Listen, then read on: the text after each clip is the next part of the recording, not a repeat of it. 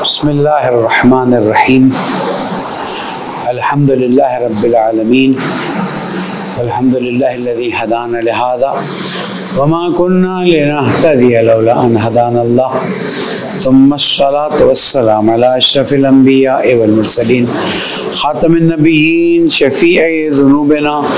व तबीब क़ुलूबिना अबिल क़ासिम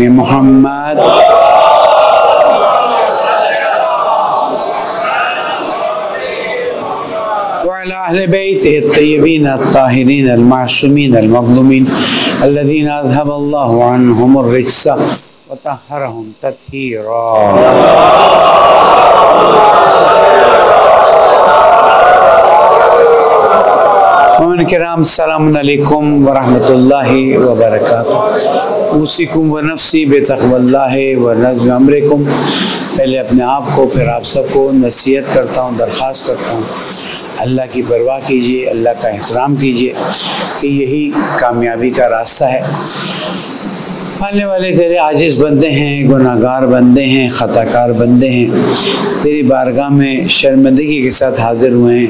हमारे गुनाहों को माफ़ फरमा हमारी कोताहियों से दरगुजर फरमा दे। हमारी नस्लों की असलाह फरमा दे।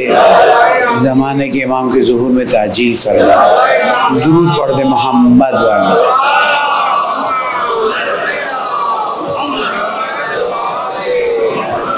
खुश नसीबी इंसान की कि वो अल्लाह का मेहमान बना हुआ है। और अगर वाकन अल्लाह की मेहमानी को हमने कबूल किया है तो इस पर इतना शुक्र बनता है, इतना शुक्र बनता है। कि हक ये कि सर सजदे में रख दिया जाए जब तक मौत ना आए, लेकिन अल्लाह ताला को भी पता है कि इंसान मजबूर है, उसे ज़िंदगी गुजारनी है। तो ये कहता है, तुम अगर ये एहसास कर लो कि ये मेरी तरफ़ से तुम्हारे लिए तोहफ़ा है और एक मरतबा अल्लाह का शुक्र अदा कर लो, अल्लाह कबूल कर लेता है। अजीज़ों, अल्लाह ताला के मेहमानों अब आहिस्ता आहिस्ता हम एक तरफ़ से शब कदर की मंजिलों में जा रहे हैं। दूसरी तरफ़ से कायनात के मौला मुश्किल कुशा, अमीर मोमिन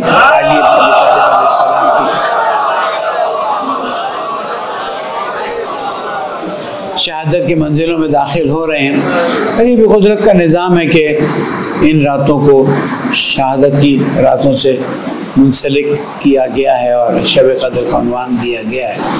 शब कदर पे इतना अर्ज़ कर दूँ कि जितना हो सके डट के मांग लीजिएगा इसलिए कि यही वक्त है मांगने का। और मांग ना सकें तो उनका वास्ता देखकर मांग लीजिएगा कि जिनका वास्ता वो कबूल करता है। और अल्लाह ताला, इंशाल्लाह इन रातों में हमें तौफीक दे कि हम गिरिए और जारी के ज़रिए अपने गुनाहों की माफ़ी मांगे और अपने आइंदा साल को इस साल से बेहतर तौर पर गुजारने की तौफीक अता फरमाए। एक और दुरूद पढ़ दें मोहम्मद।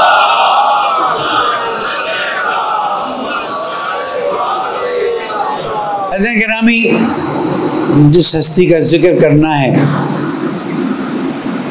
उस हस्ती के इल्म से, उस हस्ती के हिल्म से, उस हस्ती की शुजात से, उस हस्ती की सखावत से, उस हस्ती की हमत से, उस हस्ती की तदबीर से, उस हस्ती की मारिफत से। अगर बोलता जाऊँ तो पूरा खुतबा इसी में निकल जाएगा। इंसानियत को महरूम रखा गया है। पच्चीस साल इंसानियत उस हस्ती की इन तमाम खूबियों से महरूम रही है।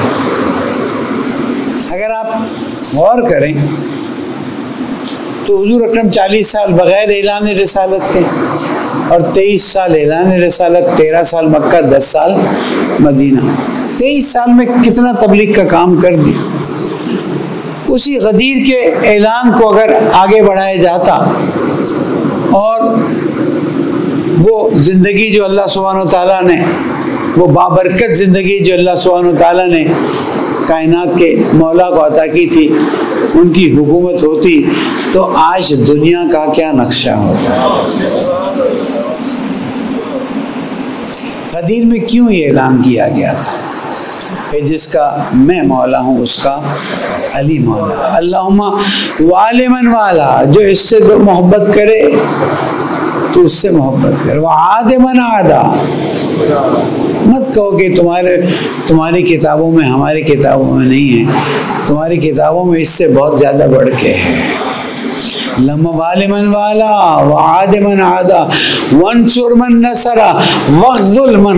इस अली की जो मदद करे तो उसकी मदद कर जो उसे नीचे दिखाने की कोशिश करे तू भी इसे कायनात पे जुल्म करने वालों ने जो जुल्म किया उसमें से एक ये है कि कायनात को 25 साल मौला कायनात के हुकूमत से महरूम रखा गया मौला कायनात को कोई नुकसान नहीं हुआ। उन्होंने तो अल्लाह की इबादत दूसरे तरीके से कर डाली। कहीं लोगों के फलाही मसाइल को हल किया, कहीं लोगों के कजावत के मसाइल को हल किया, कहीं कुएँ खोद दिए, कहीं कोई और काम कर दिया। वो तो अल्लाह वाले थे, उन्होंने अल्लाह वाले काम कर दिए। लेकिन तो सुनहरी पच्चीस साल अगर इस्लाम के इब्तदाई थे ना तेरह साल मक्का। तो कोई चीज़ हो ही नहीं सकी सिवाय बोलू, ला तुफले और चीज़ें ऐसे ऐसे बढ़ी। दस साल मदीना के उन दस साल को आगे पनपना था। उन दस साल की मेहनत को मजीद आबियारी की ज़रूरत थी।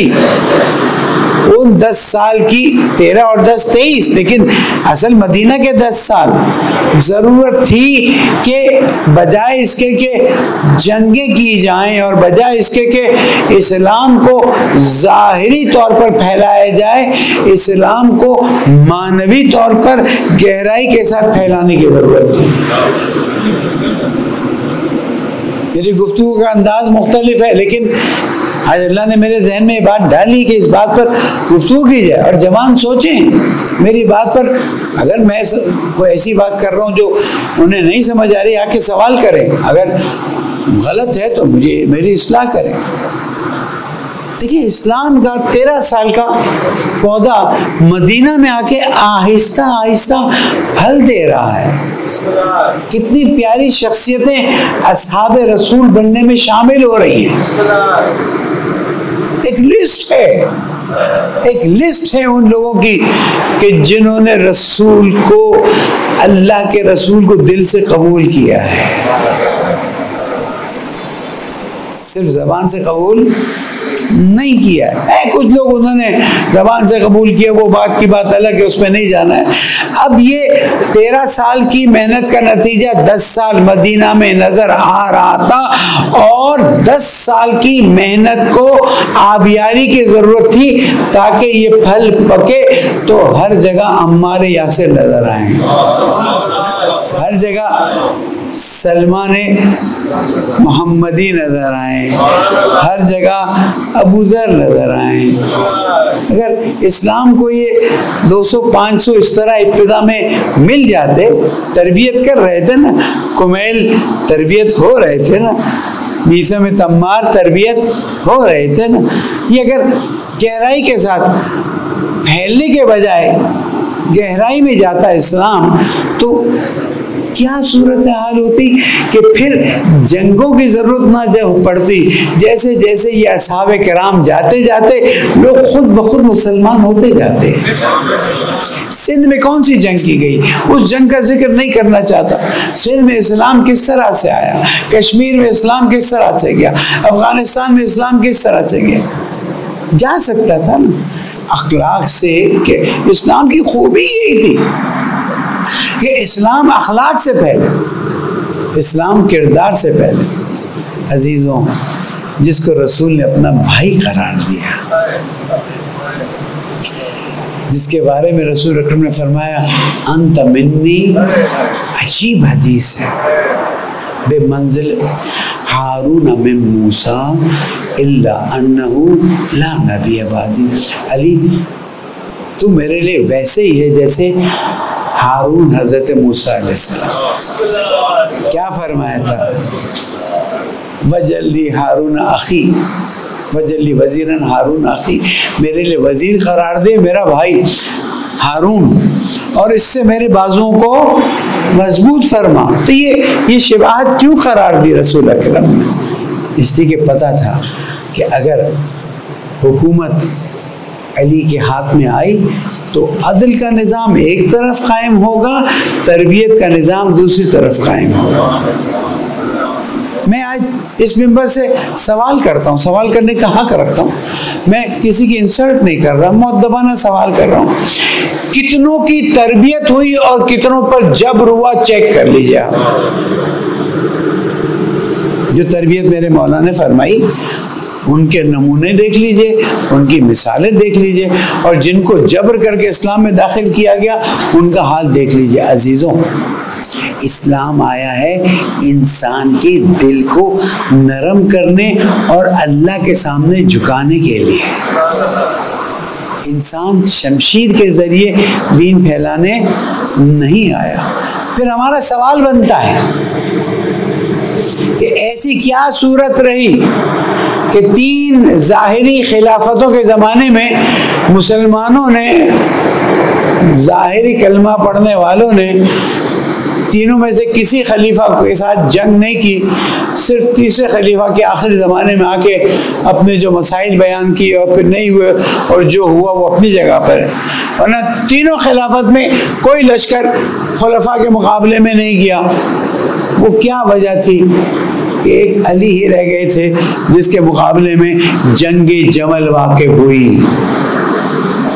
अजीज़ों, लोग बात करते हुए नाम छुपा लेते हैं। जंग जमल वाक़ हुई है। उनवान क्या था? उनवान ये था कि तीसरे खलीफा को शहीद कर दिया गया है। उनके कातिलों से किसास लेना चाहिए। और इस, इसके जिम में कहा यह जाता था कि नाउजुबिल्ला मौला अली ने नाउजुबिल्ला शहीद करवाए तुम खुद तो कहते हो, अली ने हसन और हुसैन को भेजा था ताकि तीसरे खलीफा की, तुम कहते हो ना? दो दिन पहले भी हमारे साथ चैनल पे बात कही गई, फजीलत बयान करते करते कि देखें कि हसन और हुसैन तो जो अपने बच्चों को हिफाजत के लिए बकौल तुम्हारे भेजता है, वो क्यों कत्ल करवाएगा? कि तुमने, तुमको क्या हक पहुँचता था? कुरान मजीद में अल्लाह ताला फरमाता है करना फ़ी बुयूतिकुन्ना घर में बैठो। तल जाह तबर्रुजतल जाहिलियतल ऊला। वला तबर्रुजना जाहिलियत के ज़माने की तरह वो काम मत करो जो जेब नहीं देता। आम खातन को हुक्म है। पूछा गया कि अभी हमारी गुफ्तु हो रही थी कि मस्जिद में क्यों जाने से मना किया? कहा, कुरान की आयत है। तो मैंने दिल में कहा कि मस्जिद में जाने के से रोकने के लिए तो कुरान की आयत आई। जंग जमल में जाने से रोकने के लिए कोई आयत नहीं आई। क्यों रसूल अकरम ने फरमाया था? कि ख्याल रखना ऐसी जगह पर मत जाना। अजीब है कि जहाँ पर एक मौका आएगा जब कुत्ते भोंकेंगे और जब कुत्तों ने भोंका है तो बात को टाल दी गई। और मुसलमानों, उसका क्या जवाब है कि कायनात के मौला के खिलाफ, नफ्स रसूल के खिलाफ, हुजूर अकरम के पास किसी ने कोई परिंदा शिकार किया होगा, फ्राई किया तोहफे में भेजा कि आप खाइए। हुजूर अकरम ने दुआ की। हदीस ताहिर मशहूर तरीन हदीसों में से। या अल्लाह, मेरे साथ खाने के लिए उसको भेज, जिसे तू सबसे ज़्यादा पसंद कर दिल फट जाए इंसान का। बाकी अपूरा है, वक्त नहीं है। आखिर में मौला कहना तशीफ लाए काली। आ जाओ, बैठ के खाते हैं। और दिल में कहा, जबान से कहा कि ये वो शख्सियत है जिसको अल्लाह पसंद करता है। अजीज़ों, क्यों भूल जाते हो कि जब मैदान मुबाहिला में गए हैं तो अल्लाह ने आयत में कहा था ना, अनफुसना वनफुसकुम। जहाँ पर निशाना था, जहाँ पर अबनाना था, वहाँ पर नफ्स की बात आई। क्यों तारीख में सिर्फ़ इतना लिखा जाता है कि हमने देखा कि अली साथ साथ आ रहे थे? क्यों उस शख्स को कि जिसके लिए तीन सौ से ज़्यादा आयतें नाजिल की गई हैं? पहले सुन्नत के कहते हैं। वक्त नहीं है कौन कौन सी आयतें? बताओ वलीकुमुल्लाह अतिउल्लाह रसूल आयत अथीर आय मोबाइल, एक लाइन है, तीन सौ आयतें। इन्नल्लाह अश्तरा मिनल मोमिनीन अम्वालहुम व अनफुसहुम लहुमुल जन्नह कौन कौन सी आयत पढ़ के सुनो? तीन सौ आयतें जिसकी शान में नाजिल हुई। तीस हज़ार वाकयात। जिसकी ज़िंदगी के फजीलतों में बयान किए गए हैं। उस अली के साथ, उस अली की अजमत को देखें, जब ज़ाहरी हुकूमत मिली है और देखा कि खातून सामान उठा के जा रही है मौला ने मदद के लिए कहा, खलीफा ज़मान है, क्या तुम किसी की तारीफ़ करोगे? पहुँचे तो देखा कि उसे रोटी पकानी है, बच्चे परेशान हैं का ऐसा कर तो रोटी पका, मैं बच्चों का ख्याल रखता हूँ। बच्चों का ख्याल रखते रखते रोटी बच्चों के मुँह में, यतीमों को पालने वाले थे अली। बच्चों के मुँह में रोटी देते जाते थे। बच्चों, ऐसा ना हो कि खिलाफत के ज़माने में मेरे, तुम्हारे बारे में कोई बेतवज्जोही हो गई हो। अली को इस नज़र से मत देखो कि अली ने कोई कोताही की है।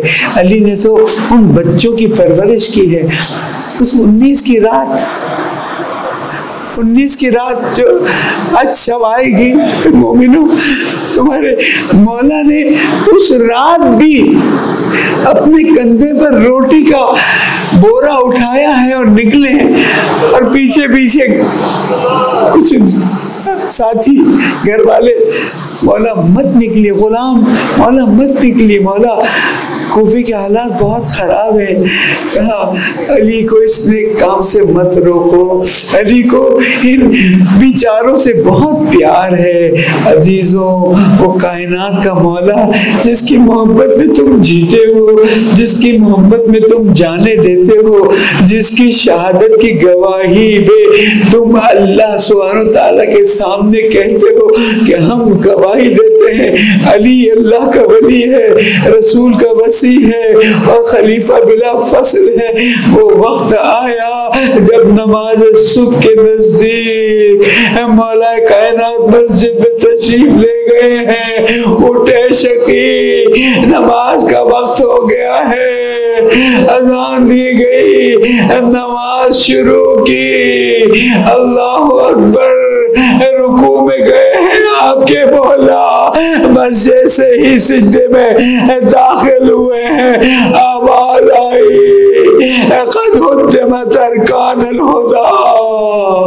हिदायत के अरकान मुतजलजिल हो गए। मौला कायनात ने जुमला कहा, फुज तो रब्बिल काबा। काबे के की कसम अली कामयाब हो गया। अली को मस्जिद से घर की तरफ़ ले जाया गया। ना महरमों को दूर किया गया।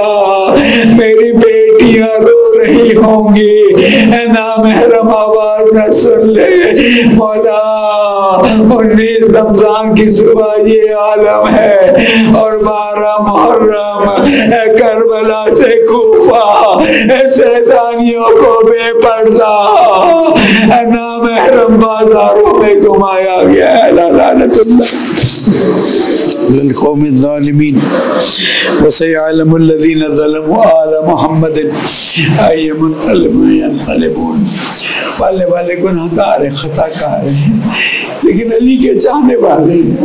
मोहम्मद वाले ज़िंदगी गुजार वाले इस मेरे का वास्ता हमें माफ़ बच्चों को हमारी नस्लों को अहल के चाहने वालों में करार दे। उनके नक्शे कदम पर चलने की तोफीक अदा। शब कदर की दुआओं को कबूल फरमा दे। शब कदर की फजीलतें अदा फरमा दे। पालने वाले जहाँ अली के दुश्मनों को डालेगा, हमें वहाँ पर मत डाल देना। पालने वाले हमें जन्नत में मौला कायनात का दीदार नसीब फरमा पालने वाले मुल्क के मसाइल है, मोमिनी के मसाइल है, बहुत सी मुश्किल है तुझसे दुआ करते पालने वाले हम सब की इन मुश्किल को आसान फरमा। टेररिज्म को ख़त्म फरमा। फ़लस्तियों की मदद फरमा। बेगुनाह सिरों आज़ाद फरमा। जिसकी जो हाजत है, जिसने भी हाथ उठाए मेरे मौला के गम उसकी सारी हाजतों को रवा फरमा दे। पालने वाले ज़माने के इमाम को राज़ी फरमा दे। उनके जहूर में ताजीर फरमा दे। बिस्मिल्लाहिर्रहमानिर्रहीम। वलआसर इन्नल इंसान लफी खुस्र इल्ला लल्लज़ीना आमनु व अमिलुस सालिहात वतवासौ बिल हक़ वतवासौ बिस सब्र सदक़ल्लाहुल अलीयुल अज़ीम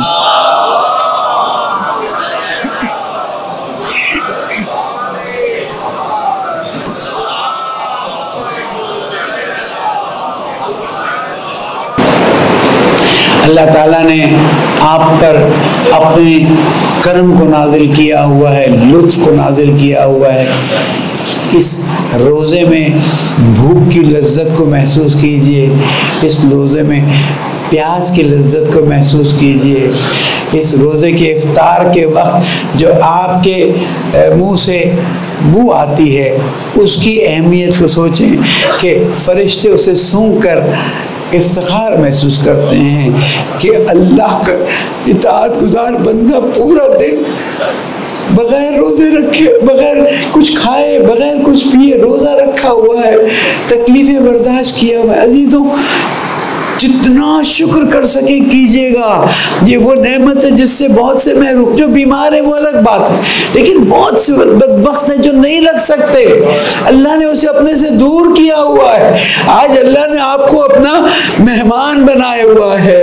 अपने दिल में इस एहसास को लेकर जाइए कि पालने वाले, तू मुझे इतना चाहता है कि करोड़ों अरबों लोगों में मैं वो हूँ कि जिसको तूने रोज़े की तोफीक दी है। मैं वो हूँ कि जो खा खा सकता हूँ, लेकिन नहीं खा रहा हूँ। मैं वो हूँ जो पी सकता हूँ, मैं नहीं पीता हूँ। लेकिन अजीज़ों, बाज़ मरतबा हम सुस्ती कर देते हैं। अब वक्त नहीं बचा। अट्ठारह रमज़ान की जहर गुजर चुकी है। किसको पता किसको शाम को जनाजे में डाल के दफना दिया जाएगा? किसको पता कि आइंदा माह रमज़ान हम होंगे के नहीं होंगे? पालने वाले उस वक्त में मनाजात के दो तीन जुमले अर्ज़ करता हूँ, फिर दो तीन बातें और अर्ज़ करता हूँ कि की दुआ है अबू से वाली में मासूम फरमाते, चौथे माँ फरमाते, पहले वाले, उस वक्त मेरे हाल पर रहम करना जब मुझे मैयत के लिए लिटा दिया गया हो। पहले वाले उस वक्त मेरे हाल पर रहम करना, जब मुझे गुसल दिया जा रहा हो। मैं लाचार पड़ा हूँ। मेरे अज़ीज़ वकार मुझे हिला रहे हैं। उस वक्त मेरे हाल पे रहम करना है अल्लाह, कि जब मुझे कंधा दिया जाएगा। आने वाले उस वक्त मेरे हाल पर रहम करना, जब मेरी मैयत को कब्र में उतारा जाएगा। पाले वाले उस वक्त मेरे हाल पर रहम करना। कि जब खबर में मुझे बंद करके छोड़ दिया जाएगा, मैं तेरी रहमत की उम्मीद लेकर बड़ा हुआ होगा अजीजों, मंजिलें बहुत सख्त है। आसान करके बताते हैं ताकि आप अल्लाह की तरफ़ आ जाएँ। वरना अगर खुदा न खासा गुनाह करते हुए दुनिया से चले गए, अल्लाह न करे, मौत के वक्त ईमान छिल गया तो उससे बड़ी बदबख्ती नहीं होगी। बस अल्लाह से दोस्ती कीजिए, अल्लाह से मोहब्बत का इजहार कीजिए, अल्लाह का शुक्र अदा कीजिए, अपने माँ बाप के लिए दुआ कीजिए, उन के लिए दुआ कीजिए कि जिन्होंने आपकी तरबियत की है, जो आज आपको मस्जिद की तरफ़ खींच के ला रही है तरबियत, जो आपको अल्लाह के सामने रोने के लिए तैयार कर रही है। उन्नीस, इक्कीस, तेईस की रातों की फजीलत को हाथ से मत जाने दीजिएगा। और मासूम फरमाते हैं हत्या आँखों से आँसू का एक कतरा भी निकल आए। एक कतरा मैंने ज़्यादा कह दीजिए। कह दिया माजरत के साथ मासूम ने फरमाया, अगर मक्खी के पर के जितना अगर एक आँसू निकल आए। अल्लाह ताला ने उसे इशारा कर दिया है कि तेरी दुआ कबूल है। वाले, कुछ महाराज है, लेकिन इस वक्त जब आँसू निकले हुए हैं गिरिया हुआ हुआ है। पालने वाले, हमें अपनी बारगाह से दूर मत हटा देना। हमें अहले बैत के दामन को मजबूती से थामने की तोफ़ी पालने वाले, ये जो तेरी इबादत की लज्जत महसूस होती है रोज़े की हालत में, तकलीफ़ होती है तो भी अच्छा लगता है, भूख लगती है तो भी अच्छा लगता है, प्यास लगती है तो भी अच्छा लगता है, क्योंकि तू देख रहे पालने वाले, इस लज्जत का हमें बेहतरीन अजरता फरमाए। हमारी नस्लों को भी तेरी मोहब्बत में ज़िंदगी गुजारने की तोफ़ी और हमें रबैत के रास्ते पर चलने की तोफ़ी अता दुरूद पढ़ दें मोहम्मद वाले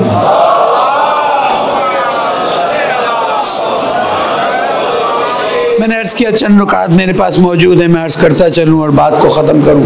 इक्कीस रमज़ान की आज़ादारी में शिरकत कीजिए। आज़ादारी में भरपूर शिरकत ज़रूरी है, इसलिए कि ये आज़ादारी हमारी पहचान है और मौला कायनात का गम है। ताकि दुनिया वालों को बताओ कि जिसको तुमने पीछे करने की कोशिश की, आज किसी का कोई याद मनाने वाला नहीं है। मौला का याद करने वाला मैं मौजूद हूँ। ये आपने साबित करना है, घर में नहीं बैठना है। अगर हो सके तो आज़ादारी में शिरकत कीजिए, जुलूस हो निकलेगा इक्कीस तारीख को। जुलूस का एहतराम बरकरार कीजिए। खबरदार, जुलूस में कोई ऐसा काम ना हो जिससे खुदा न खासा मकतब की शान में तोहन हो। मुझे पता है आप मेरी बात समझ रहे हैं। जुलूस, देखें, अगर कोई रोज़ा बीमार है, रोज़ा नहीं रख सक रहा है, वो सामने खाने की इजाज़त नहीं रखता। अगर वो खाएगा तो तीस कोड़े पड़ेंगे। मौला कायनात की अज़ादारी का जुलूस हो और कोई ऐसा अमल अंजाम दिया जाए, खुदा न खासा वीडियोज़ बन जाएँ, मकतब की तोहन को माफ़ नहीं किया जाएगा। जुलूस का एहतराम और जुलूस में इफ्तारी देने वालों को, क्योंकि आमतौर पर कोशिश करता हूँ, मैं भी हाजिर रहूँ, अगर टीवी चैनल वगैरह के मसाइल ना हो। इफ्तारी देने वालों से दस बस्ता दरख्वास्त करता हूँ। आप लाइन लगवा कर दे दीजिए। ये जो आप तबर्रुक है, ये न्याज है। यानी मैंने बुज़ुर्गों को देखा है कि ताबूत पे से गुलाब की पत्ती गिरती, वो भी उठा के मुँह में रख लेते हैं। उस गुलाब की पत्ती की क्या हैसियत है? अब हैसियत ये है कि शबी है, ताबूत है, उसको तो अगर उस गुलाब की पत्ती को मैं इतना मुकद्दस समझता, और है मुकद्दस सही करते हैं वो। हमें भी सीखना चाहिए। तो जो न्याज इमाम के नाम पे दी जा रही उसको तुम फेंकोगे? नीचे गिर रही, बदतमीज हो रही। किसी ऐसी सबील पे मत जाइएगा कि जिस पे न्यास फेंकी जा रही हो। बल्कि अमर बिल मारूफ और नहीं मुनकर का तकाजा ये कि आप उनको समझाएँ कि ये काम आप गलत कर रहे हैं। अल्लाह एक तो अल्लाह का अनाज है और फिर अल्लाह का अनाज मुकदस हो गया है तबरुक और न्याज की वजह से। इमाम की नस्बत से दे रहे हैं ना। हमारे लिए तो बशर से जब आप जाते हैं इमाम रजा की न्याज खाने के लिए, नमक मिलता है, वो भी संभाल के लाते हैं। तो ये भी तो इमाम अली की न्याज है, इमाम हुसैन की न्याज है।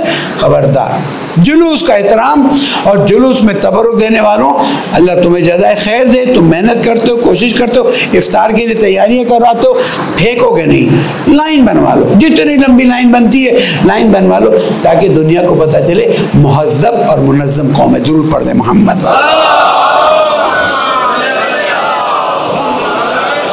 अफसोस है कि चाइनीज़ इंजीनियर्स को इस तरह से धमाके से उड़ा दिया गया।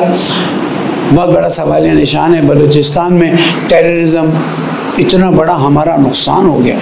ये तो चलें चाइना के दिल में, पाकिस्तान की मोहब्बत है, वरना क्या होता? पाकिस्तान पे चाइना पाबंदी लगा ले, आप सांस भी नहीं ले सकेंगे। अल्लाह मुझे माफ़ करें, रोज़ी देने वाली अल्लाह की ज़ात है, लेकिन मैं तो ज़ाहिरी चीज़ों की बात हमारी एजेंसीज को, हमारे मुसल अफवाज को बहुत सीरियसली लेना चाहिए। हुकूमत से तो मैं क्या दरख्वास्त करूँ? लेकिन जो ज़िम्मेदार हैं हम टेररिज्म से मुकाबला करने में हम आपके साथ हैं और टेररिज्म के मुकाबला करने में मुल्क की हिफाजत करने में हम दुआ करते हैं कि अल्लाह पाक अफवाज की हिफाजत करे ताकि मेरा मुल्क अमन का गहवारा बने। हमारे मिसिंग पर्सन का मसला अपनी जगह पर है। आ, कुछ कोशिशें मज़ीद तेज़ कर दी हैं। इसलिए कि फैमिलीज़ बहुत परेशान है फ़ोन करती हैं। हम दुआ करते हैं कि अल्लाह ताला हमें तोफ़ी दे कि जल्द अज जल्द ये बाजियाब हो जाए इन शाह फ़लस्तीन के मसाइल बहुत शदीद हैं, अब वक्त नहीं बचा है, सिर्फ़ इतना कह दूँ। ये मेरा अकीदा है और मैं इस पर आखिर तक इन कायम हूँ कि माह रमज़ान की कोई इबादत कबूल हो या ना हो। कोई नमाज़ इन कबूल है, लेकिन कोई नमाज़, कोई रोज़ा, कोई पता नहीं किसको दिखाने के लिए, अपनी बात करता हूँ। लेकिन अगर आप योम कुछ की रैली में जाएँगे ना तो यकीन कीजिए, अल्लाह ताला आपकी इस इबादत को कबूल कर लेगा। क्यों? इससे कि मजलूमीन की आवाज़ को आपने उठाना है। मजलूम की आवाज़ मौला ने जरबत के बाद कहा था, कून खसमन, वलिल मजलूम, आओ ना, जो जालिम है उसके मुकाबले में खड़े हो जाओ और जो मजलूम है उसकी मदद करो। आज आप फ़लस्तीन में नहीं जा सकते। हम तो कोशिश कर करके थक गए। कुछ नहीं कर सकते। एक दुआ, जैसे कि दुआ मोमिन का असला है। मुसलमान भाई, ये कलमा पढ़ने वाले। अगर अरब ममालिक बेखैरती का मुजाहरा करते हैं अयाशी का मुजाहरा करते हैं, खाने पीने के इफ्तार के उनके हालात देखिए, आपको पता चल जाएगा। छोड़ दीजिए। वो जाने और अल्लाह जाने। ये देखिए, मैं क्या वजीफ़ा अंजाम दे इसलिए पूरे पाकिस्तान से, तमाम मुसलमानों से कहता हूँ, यहाँ तो आके इतिहाद कर लो। ये फ़लस्तनी भाई, हमारे मुसलमान भाई हैं, इनके लिए आवाज़ उठाना इस वक्त मैं समझता हूँ वाजिब है। और इस इबादत में जितना आप शरीक हो सकें फैमिलीज़ को बापर्दा लेकर जाइए, बच्चों को लेकर जाइए, और उन नारों का जवाब दीजिएगा जो वहाँ पर दिए जाएँ, ताकि अल्लाह सुबहान तला के फरिश्ते ये लिख कर लेके जाएँ कि अली के चाहने वाले ने अली की आखिरी वसीयत के अल्फाज पर अमल किया, जालिम के ख़िलाफ़ आवाज़ उठाई, मजलूम की हिमायत की है। और हुकूमत को मैं मुतनबे करता हूँ। जल्द अज जल्द कोई रास्ता निकालें, कोई फैसला करें, मत डरें। वैसे तो तुम कहते हो, अल्लाह से ही मांगना चाहिए। वैसे तो तुम कहते हो, अल्लाह ही मदद करने वाला है। और यहाँ पर तुम अमेरिका से डरते हो, हिंदुस्तान जैसे बदबक हुकूमत करने वालों से डरते हो। और नाम नहीं ले सकता, लेकिन आप समझते हैं, इसराइल को मुसलमान चाहें तो एक झटके में ख़त्म कर सकते हैं। लेकिन क्या किया जाए? मेरे मफादात, मेरी हुकूमत, मेरे मसाइल इजाज़त नहीं देते हैं। और इस्लामाबाद में आपने कैसे फ़लस्तीनों की हिमायत में होने वाली रैली को रोका? क्या हो जाता? बहुत ही शर्मिंदगी की बात है। मेरा सर तो शर्म से झुक गया है। मुसलसल एक रैली के लिए, इजाज़त के लिए दौड़ रहे हैं। आज जब मैं आपके पास आ रहा हूँ, वो इजाज़त नहीं मिली है। वो नहीं है, वो गया हुआ है। मान है ना, ताकि ये ना कहा जाए, मैं समी मेंबर पे जाके ना कहे कि डीसी साहब ने इजाज़त नहीं दी। अच्छा आप दे जाइए, हम देखते हैं, अभी इस पर तहकीक करेंगे। कब से एप्लीकेशन लेके क्या चाहते हो तुम? तुम अल्लाह के मुकाबला करना चाहते हो, जो अल्लाह कह रहे हैं, मजलूमों की हिमायत करो। बहरहाल, हमसे जो हो सकेगा, हम करेंगे। और इन जुमतुलविदा इमाम खुमैनी रहमत को अल्लाह ताला जन्नत में ऊँचे मकाम अता करे। उस वक्त सोच दिया, सोच के दे दिया था कि जुमतुलविदा को मनाना, ताकि सब मुसलमान मुतहद हो जाएँ। अब साजिश करने वाले इतिहाद को तोड़ रहे हों तो उनकी मर्ज़ी है। हम इन योमुल्कुद्स भरपूर तरीके से मनाएँगे। जहाँ भी मुल्क में आप हैं, रैलियों में शिरकत कीजिए। पालने वाले, तेरे गुनागार बंदे, तेरे खताकार बंदे, आँखों में आँसू हैं, शर्मिंदगी है, अफसरदगी है। मैं रमज़ान भी जा रहा है। पता नहीं, मैं आइंदा जुम आपकी खिदमत में यहाँ हाजिर हो सकूँगा पालने वाले। तो इतना जानते हैं, हम दिल से तुझे चाहते हैं, तेरे रसूल को चाहते हैं, तेरे रसूल की आल को चाहते हैं। उनसे मोहब्बत है पालने वाले। तू इतना कर दे, उनके दुश्मनों से हमें दूर कर दे। उनके दुश्मनों के कामों से हमें आज़ाद कर दे। बेचारे फ़लस्तीनियों की मदद फरमा दे। पालने वाले जो हम भूखे रहे हैं, जो प्यासे रहे हैं, भाई मजदूरियाँ करते हैं, मेहनत करते हैं, पालने वाले, सिर्फ़ तेरी खुशनुदी के लिए, तेरी इज़्ज़त की कसम खा के कहता हूँ कि सिर्फ़ तेरी खुशनुदी रखते, पालने वाले, इनको इन रोज़ों का बेहतरीन अजरता फरमा दे। इन रोज़ों के बस इनके बच्चों को भी तेरा चाहने वाला, तेरे रसूल का चाहने वाला, उसकी आल का चाहने वाला करार दे दे। पालने वाले साहिबान हैसियत को ज़्यादा सदका, खैरात, नेकी में खर्च करने की तोहफ़ी अता फरमा। उनके नेक कामों को कबूल फरमा। रब्ज़त पूरी ज़िंदगी इसी तरह से नमाज़ की, मुनाजात की सिद्धे करने की, रोज़े रखने की तोहफ़ी अता फरमा। पालने वाले तेरे गुनाहगार बंदे, ख़ताकार बंदे, हमें भी माफ़ फरमा, हमारे मरहुमीन की भी मगफरत फरमा, हमारे आने वाली नस्लों की भी मगफरत फरमा। ए रब्ज़त हमें अहल बैत की शफात नसीब फरमा।